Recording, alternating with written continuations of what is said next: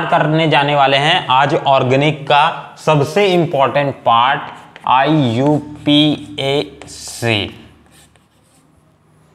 यानी international union of pure and applied chemistry इसका full form है। तो आईयूपीएससी सिस्टम क्यों बनाया गया? इस चीज़ को हम समझते हैं।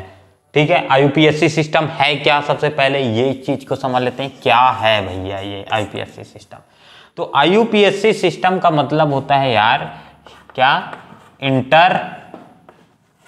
International international union of pure and applied chemistry international union of pure and applied chemistry तो international union of pure and applied chemistry आखिरकार क्या कन्वे करना चाहता है इस आईयूपीएससी सिस्टम से? क्यों बनाया गया भैया इस सिस्टम को? तो इस सिस्टम को बनाने का एक मकसद तो सबसे इंपॉर्टेंट था, क्योंकि हमें मालूम है कि हमें, मेरे लिए जो नेमिंग है, वो दूसरे देशों वालों के लिए अलग नेमिंग हो सकती है। क्योंकि हमारी दुनिया तो ये इतनी बड़ी तो है नहीं। हमारी दुनिया इस बोर्ड के इतनी बड़ी है। तो हम इतनी स्टेट में रह रहे हैं। हमारे यहाँ की लैंग्वेज अलग है। लैंग्वेज अलग है तो रिसर्चेज अलग है। रिसर्चेज जो अलग हैं तो हम नेमिंग अपने अकॉर्डिंग करेंगे। तो अगर मैं बोल देता हूँ अपने यहाँ, भैया, कि मेरे को फलाना एलिमेंट है, मेरे मेरे को एक्स एलिमेंट दे दो। एलिमेंट चाहिए। ये इंडिया वाले बोल रहे हैं। उसी तरीके से अमेरिका वाले क्या बोलते हैं इसे? एक्स एलिमेंट को उन लोग बोल देते हैं। A B C element. ठीक है?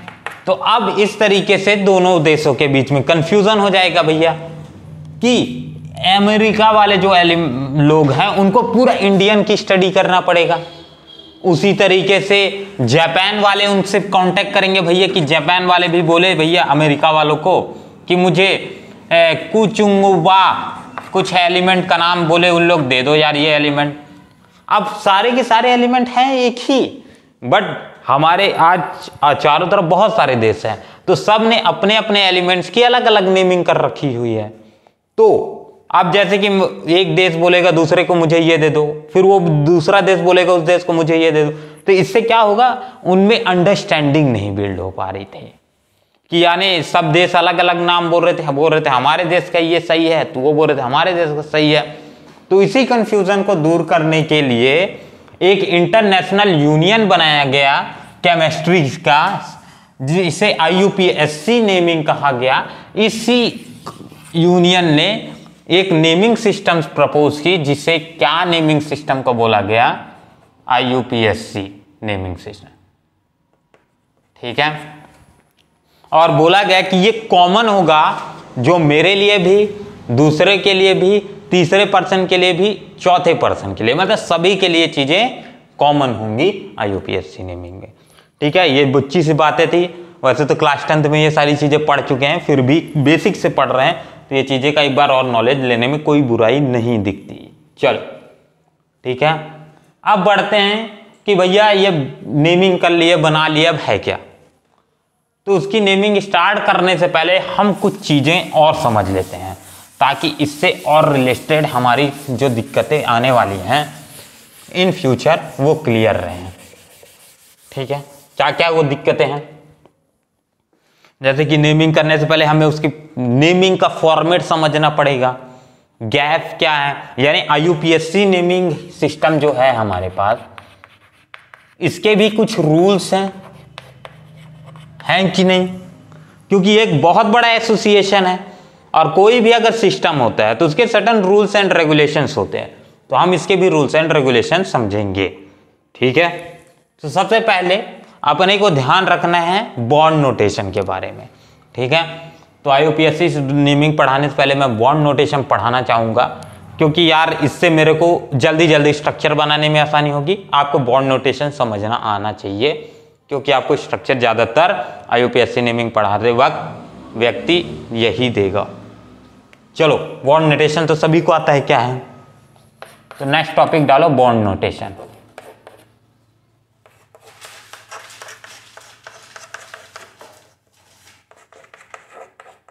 ठीक है? बॉन्ड नोटेशन क्या होता है? बॉन्ड नोटेशन होता है एक साइन फॉर्म क्या होता है? साइन फॉर्म होता है किसी भी organic O R G A N I C organic compound को शो करने के लिए। तो इसे क्या लिखेंगे? लिख लिए इसका डेफिनेशन ठीक है? तो क्या है ये? एक किसी भी ऑर्गेनिक कंपाउंड को शो करने के लिए जो हम साइन फॉर्म का इस्तेमाल करेंगे, उसे बॉन्ड नोटेशन बोला जाएगा। फॉर ऑर्गेनिक केमिस्ट्री बात कर रहे हैं तो ऑर्गेनिक के लिए वैसे हर एक कंपाउंड का साइन फॉर्म होता है। ठीक है? चलो। तो नॉर्मल सी जहाँ भी बॉन्डेज आएँगे, वहाँ पास हम ब्रेक से दिखाते हैं। यानी अगर मैं एक इस तरीके की कार्बन की एक चैन बनाता हूँ। सबसे सिंपल लेते हैं।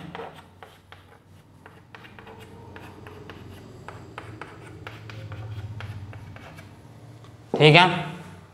अब इसको शो करते हैं बॉन्ड फॉर्म में। कोई डाउट आए तो वो से चले जाना।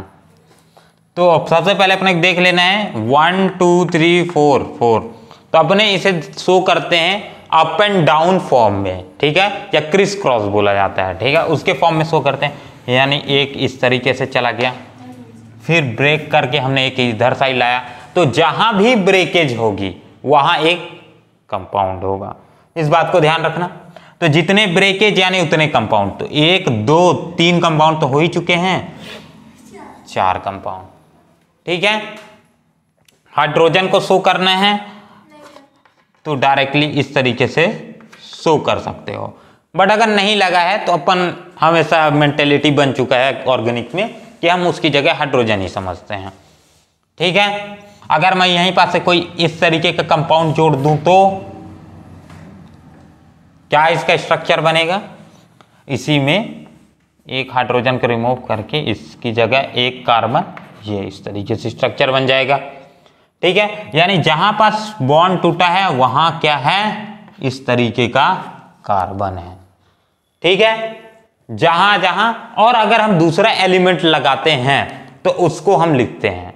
जैसे मैं ऑक्सीजन इसमें लगाता हूँ तो ऑक्सीजन को क्या करूँगा? लिखूँगा। ठीक है?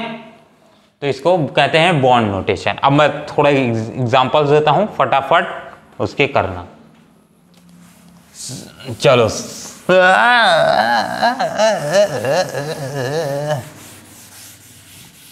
कोई दिक्कत?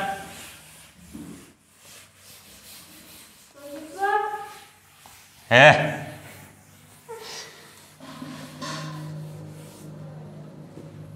स्टार्ट करें आगे बढ़े। Now next. तो मैं स्ट्रक्चर से लिखते जाता हूँ। आप लोग उसके क्या करोगे? जल्दी जल्दी बॉन्ड नोटेशन हाँ। एक लोग अपसेंट हैं कैसे? वो सी विल नॉट कम छुट्टी मार दी। अरे चलो आज से ही इम्पोर्टेंट था। फिर इसके बाद अगली क्लास में फिर से बोलने को पड़ जाएगा कि नहीं समझ आ रहा है। क्योंकि आज ही है। मैथ हैथ प्रॉप ब्यूट ये जो बेसिक नेमिंग का फॉर्मेट है वो आज से स्टार्ट हो रहा है।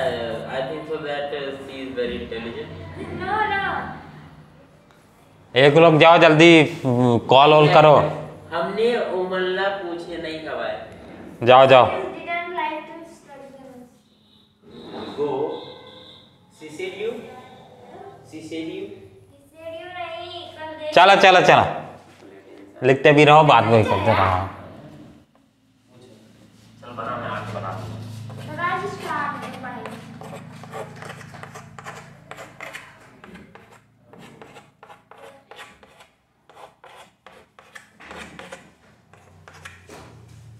नो गुरुजी वो नहीं आएगी। ओके चलो। हमको ही पढ़ा दो। मन नहीं है आपका? ये गिन पाएँगे हम तो ऐसा लगा को वो स्टूडेंट बहुत पसंद है वो ज़्यादा क्वेश्चन पूछती है हम लोग घूम रहे हैं।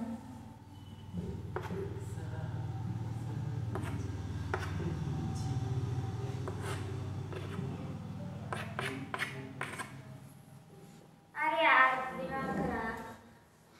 चलो ठीक है I can I can give me one minute अब सीधे बोर्ड में क्वेश्चन चल रहा तो बंद करिए ठीक है? ये करना हो गया।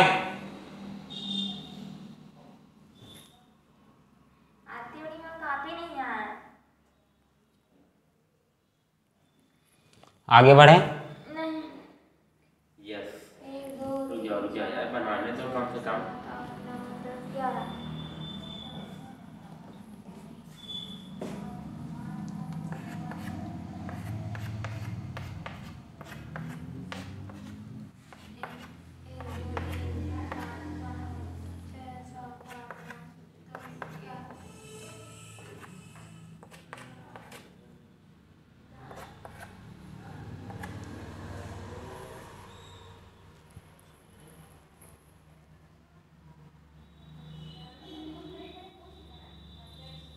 ठीक है?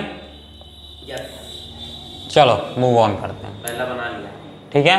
तो पहला क्या बनेगा? ये। चेक करते बस चले जाना। हो सकता है थोड़ा इधर उधर हो। तो सबसे पहले मैं किसी एक स्ट्रक्चर को रब कर देता हूँ। सबसे पहले इसको बना लिए हो ना कि इसको बना देता हूँ।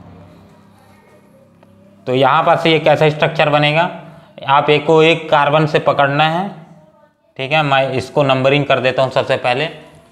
One two three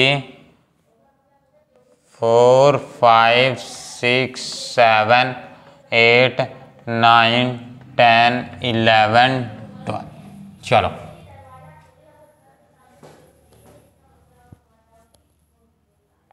तो क्या आएगा? One two three four five six seven eight nine ten eleven twelve complete अब ना जितने नंबर्स उसमें जुड़ते जाएँगे, हम उसको जल्दी जल्दी फटाफट जोड़ते जाएँगे। एक डैश टू पे हो गया। टू पे एक और लगा हुआ है तो एक और। ठीक है, फिर थ्री पे एक लगा है। थ्री पे एक ये। ठीक है तो हमें जैसे ही बॉन्डेज आएँगी, हमें उसे ब्रेक कर देंगे। ठीक है? थ्री पे हो गई। फोर पे क्या आएगा? सिर्फ़ एक आई थिंक सो तीसरा वाला ये आ जाएगा। वन टू थोड़ा सा गलत हो गया है। ध्यान रखना।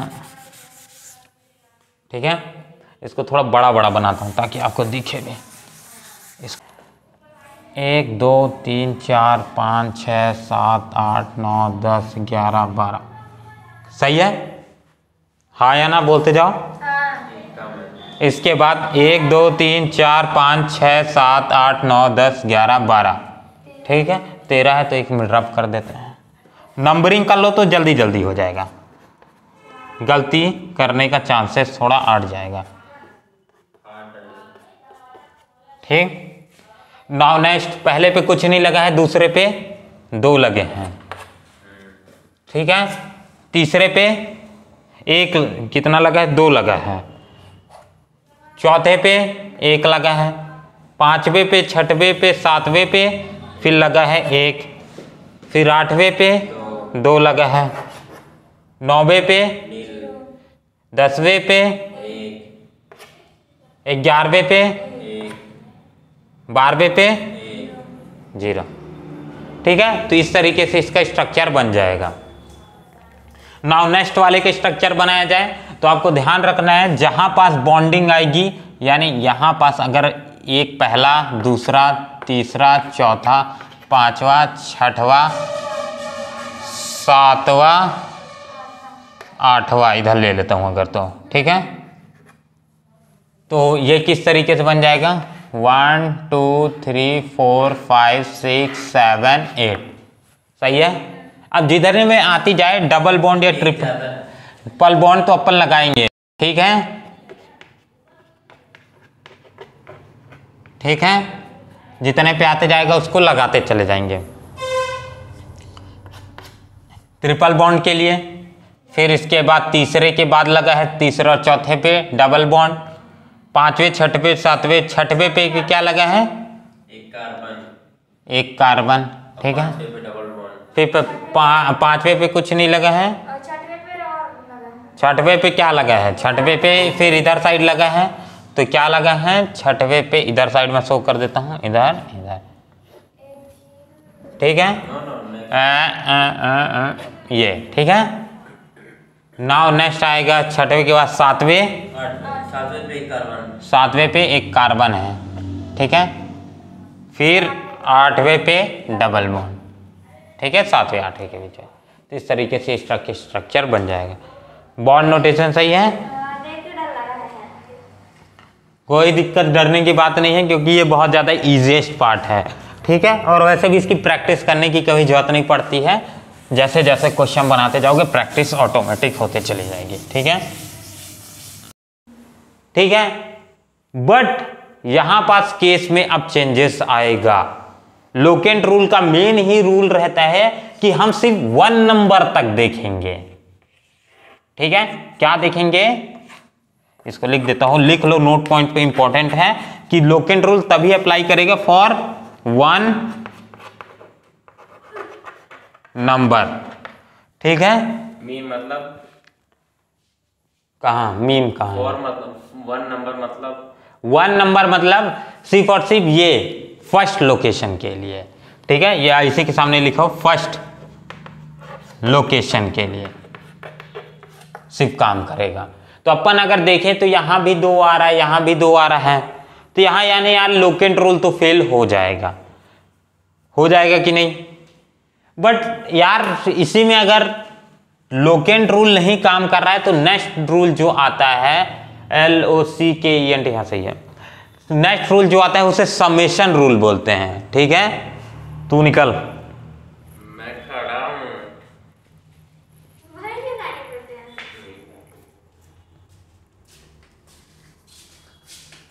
नेक्स्ट रूल जो आता है, वो है समेशन रूल समेशन रूल क्या यहाँ लोकेंट रूल अप्लाई हो पा रहा है? क्योंकि लोकेंट रूल सिर्फ़ फ़र्स्ट लोकेशन के लिए रिस्पॉन्सिबल है. तो यहाँ भी दो आ गया, यहाँ भी दो आ गया. तो दोनों में तो दो दो सेम हो गया.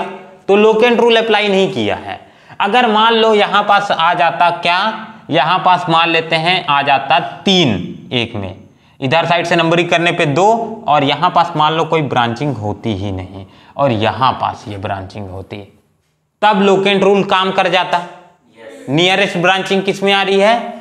इस वाली नंबरिंग पे आ रही है जिसपे अपन कर चुके हैं। वन टू पे आ रही है तो टू इज़ करेक्ट और तीस तीन वाला क्या है? इधर से जब नंबरिंग करूँगा तो वन टू थ्री नंबरिंग करने पे यहाँ आ रही है। तो यानी जो लोएस्ट नंबर होगा जहाँ पास, वो माना जाएगा। यानी ये वाली मेरी नंबरिंग सही हो जाएगी। एक आध एग्ज़ाम्पल दो लोकेंट का। ठीक है? चलो, मिटा दूँ इसको रब कर दूँ?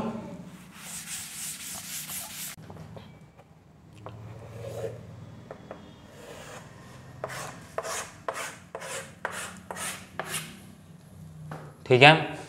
ब्रांचिंग एक इधर कर दिया, दूसरी ब्रांचिंग इधर कर दिया, ठीक है?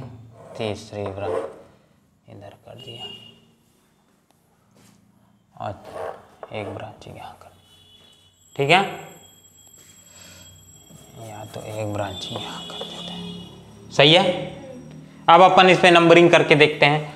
तो one two three four five six seven eight nine ten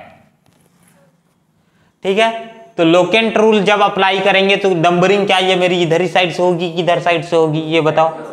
उसी साइड से होगी, क्योंकि इधर तीसरे नंबर पे मुझे ब्रांचिंग देखने को मिल जा रही है। और इधर साइड से जब नंबरिंग करेंगे तो वन टू थ्री फोर चौथे नंबर पे ब्रांचिंग मिलेगी। तो लोएस्ट अपने को सेलेक्ट करना है, यानी ये मेरी नंबरिंग सही हो जाएगी। लोक एंड रूल समझ आ गया। बट अगर लोक एंड रूल फेल हो जाए तो किस कंडीशन में फेल होगा? उस कंडीशन को देखते हैं आप। ठीक है? अब इसी में कंडीशन को थोड़ा बदलते हैं और देखते हैं कि क्या लोक एंड रूल फेल हो सकता है। ऐसा। तो मैं अगर क्या कर दू? इसी में इस नंबरिंग को डिलीट करके, ये। ठीक है? एक क्या कर देता हूँ? तीसरे पे ही इस तरीके का लगा देता हूँ। अब देखो, किधर साइड से नंबरिंग करनी चाहिए मुझे? One two three locant rule के अकॉर्डिंग कर रहे हैं। अब इधर से भी करूँगा तो वन टू थ्री अब तो तीन तीन दोनों आ जा रहा है, पर ये फ़र्स्ट लोकेशन के लिए ही सिर्फ़ लोकेंट रूल अप्लाई किया जा सकता है। आगे के लिए अब तो दूसरे नंबर से तो चेंजेस हो गया। यानी तीन तीन आ रहा है तो यहाँ तो फेल कंडीशन आ जा रही है। अब मैं इसमें से कौन सा लूँ? तो इसी को देखते हुए एक नया रूल बनाया गया। ठीक है एड ऑन कर लेना, इसी में ये कौन सा रूल हो जाएगा? आई थिंक सो चौथा, जिसे समेशन रूल बोलते हैं। क्या बोलते हैं? समेशन रूल ठीक है समेशन रूल क्या बोलता है? कि हम जितने भी नंबर पे ब्रांचिंग आएगी, उन सभी नंबर्स को ऐड करेंगे और जो लोएस्ट नंबर आएगा, उसके अकॉर्डिंग हम ब्रांचिंग का नंबरिंग डिसाइड करेंगे। यानी इधर साइड से मैं नंबरिंग करके देखता हूँ तो कौन कौन से आएगा? ठीक है, दो कलर यूज़ करते हैं। येल्लो किए हैं, किधर से करते हैं चलो येल्लो से करते हैं। One two three four five six seven eight nine ten. सही है। बट अगर मैं इसी तरीके से इधर से करूँगा तो कौन कौन से नंबर पे ब्रांचिंग आ रही है? जल्दी जल्दी बोलते जाओ। तीन पे आ रही है पाँच पे आ रही है छह पे आ रही है सात पे आ रही है आठ पे आ रही है। अब उधर से करो। One two three four five six seven eight nine ten सही है? अब क्यों कितना कितना नंबरिंग आ रहा है? जल्दी जल्दी बोलो। तीन हाँ? चार पाँच छ सात सात आठ। इधर से एक साइड से कम एक साइड से ज़्यादा कैसे आएगी? तो हटा दीजिए। सात में नंबरिंग कहाँ है।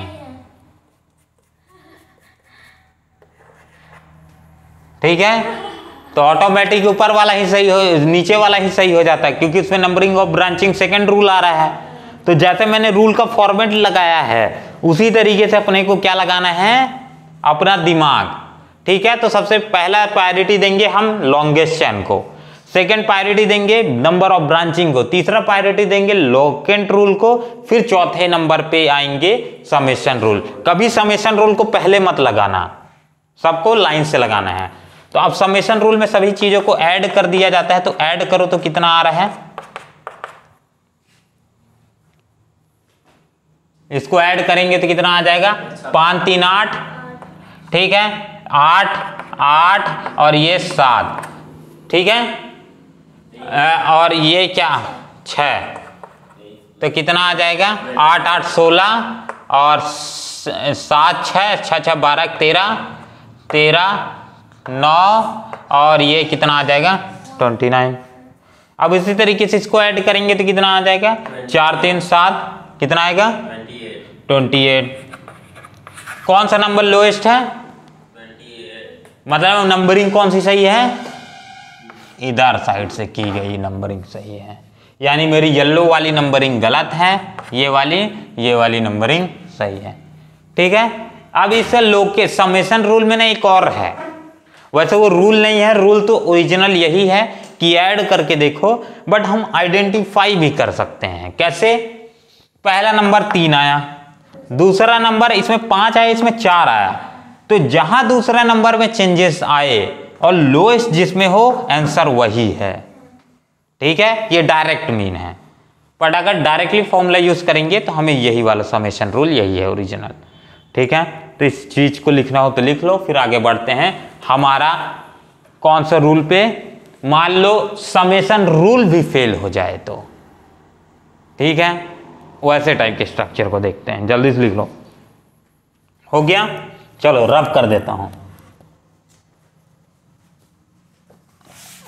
अगर समेशन रूल फेल हो जाए किसी कंडीशन में तो। चलो। नाउ नेक्स्ट आता है समेशन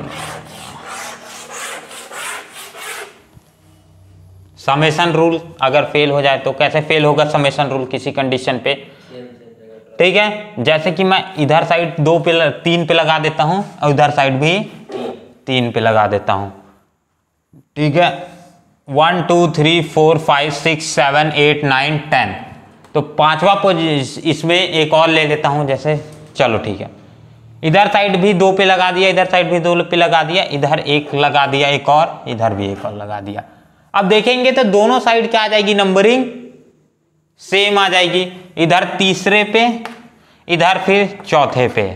इधर तीसरे पे उधर साइड से करेंगे, इधर भी चौथे पे।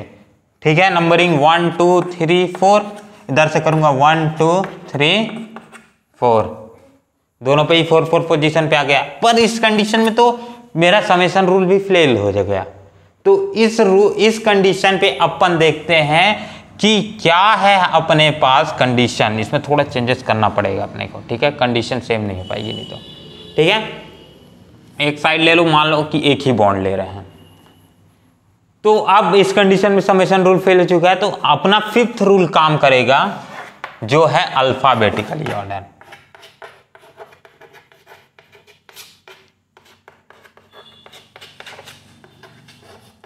ऑर्डर सही है?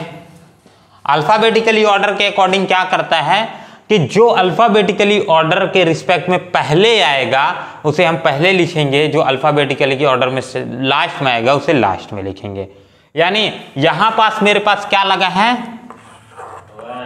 मीथेन। मिथाइल लगा है M T H Y L methyl. यहाँ क्या लगा है? Ethyl sorry methyl di methyl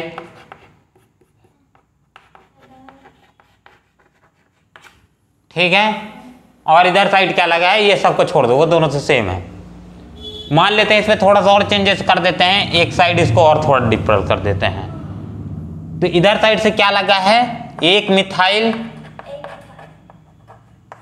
एक।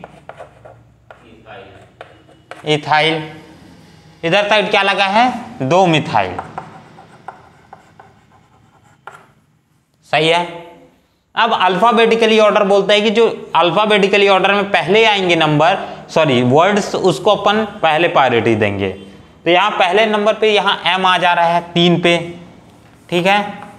तीन पे क्या आ रहा है? एम यहाँ तीन पे क्या आ रहा है? एम ठीक है? क्योंकि ये जो वर्ड है, ये हमारे कोई काम का नहीं है। इस बात को ध्यान रखना। ये अपन नंबर को दिखाने के लिए दिखाते हैं कि कितने नंबर है। जब मैं इसे लिखूँगा तो क्या लिखूँगा? थ्री थ्री डाई लिखूँगा मिथाइल। याद है कॉन्सेप्ट अभी तो पढ़े नहीं है, पढ़ेंगे आगे जा करके तो इससे अपने को लेना देना नहीं है। तो यहाँ भी एम लगा है। तो ये रूल भी अपने को काम नहीं कर रहा है अभी एक पोजीशन पे। पर नेक्स्ट पोजीशन पे मैंने देखा कि चौथे पोजीशन पे यहाँ जब मैं मूव किया तो एक तो एम लगा है मिथाइल और एक क्या लगा है? इधर क्या लगा है?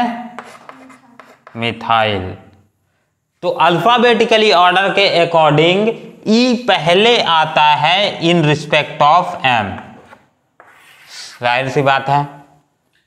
अल्फाबेटिकली ऑर्डर के तो हमारा सही नंबरिंग इधर से हो जाएगा। ठीक है? तो ये चीज़ को ध्यान रखना है कि नंबरिंग किधर से करना पड़ेगा अपने को। तो ये थे आईयूपीएससी नेम के सबसे बेसिक कॉन्सेप्ट्स जो अपने को एक कार्बन चैन को सेलेक्ट करने के लिए रिस्पॉन्सिबल है। नेक्स्ट जब हम फंक्शनल ग्रुप इसमें ऐड करेंगे तो हमारी सारी की सारी कंडीशंस चेंज हो जाएँगी, वो हम अलग कॉन्सेप्ट में पढ़ेंगे। तो अभी सबसे बेसिक पार्ट पढ़ो फंक्शनल ग्रुप जब ऐड करेंगे, तब उस समय हम इसमें क्या क्या चेंजेस करना चाहिए, वो करेंगे, ठीक है? तो फ़िलहाल, अभी तक के लिए इतना ही। तो अभी अपन ने आज क्या क्या पढ़ा? चार, पाँच पाँच रूल पढ़े। पहला रूल क्या है? लॉन्गेस्ट कार्बन चैन को सेलेक्ट करो। दूसरा ब्रांचिंग देखो कि इधर साइड से ज़्यादा आ रही है। इधर ब्रांचिंग किधर आ रही है? एक, दो, तीन सॉरी इधर कितना ब्रांचिंग आ जाएगी? पहले नंबर पे। एक है, फिर यहाँ दो ब्रांचिंग आ जाएँगी। उसी तरीके से यहाँ दो ब्रांचिंग आ जाएँगी। इधर क्या आ जाएगी? दो ब्रांचिंग आ जाएँगी। तो वैसे तो देखना चाहिए तो कंडीशन बदल जाएगी। ठीक है? चलो, कैसी? यहाँ पास इस चीज़ को लगा के रखना। क्यों लगा के रखना? क्योंकि हमारा सेकंड रूल बोलता था कि ब्रांचिंग देखना है किधर साइड से ज़्यादा आ रही है। ठीक है? बट ब्रांचिंग कभी ये नहीं बोलता था कि किधर साइड से कितने नंबर ऑफ़ ब्रांचिंग आ रही है। उसका ये रूल नहीं था। सिर्फ़ ब्रांचिंग देखो यार कि कितनी ज़्यादा आ रही है ब्रांचिंग उस पर सेलेक्ट करो। नेक्स्ट तीसरा रूल हमने क्या पढ़ा? लोकेंट रूल चौथा रूल क्या पढ़ा? लोकेंट की हमें क्या? ब्रांचिंग का ऑर्डर देखना कि कहाँ आ रहा है। ठीक है? दोनों साइड से चौथा रूल समेशन रूल। पांचवा रूल अल्फाबेटिकली ऑर्डर तो इस तरीके से ये आईपीएससी नेमिंग के सबसे बेसिक्स खत्म हो गए। अब नेक्स्ट जो आता है, इसमें वो क्या आता है? मैथ हैथ प्रॉब्यूट अब से लेकर के 20 25 जितना तुमको सीखना है, उतना तक सीखते रहो कार्बन का। ठीक है? तो इस लेक्चर के लिए इतना ही रखते हैं। अगले वाले लेक्चर पे हम स्टार्ट करेंगे। मैथ हैथ प्रॉब्यूट ये सारे के सारे एक फिक्स प्रीफिक्स और किस तरीके से अपन आईपीएससी नेमिंग कर सकते हैं, उसका एक फॉर्मेट ठीक है? चलो तो इस वीडियो के लिए इतना ही। मिलते हैं अगले वीडियो पे। तब तक के लिए अपना ध्यान रखिए। जय हिंद, जय भारत। और जेपी वर्ल्ड क्लासेस के साथ जुड़े रहने के लिए। ठीक है? जय हिंद। ओके।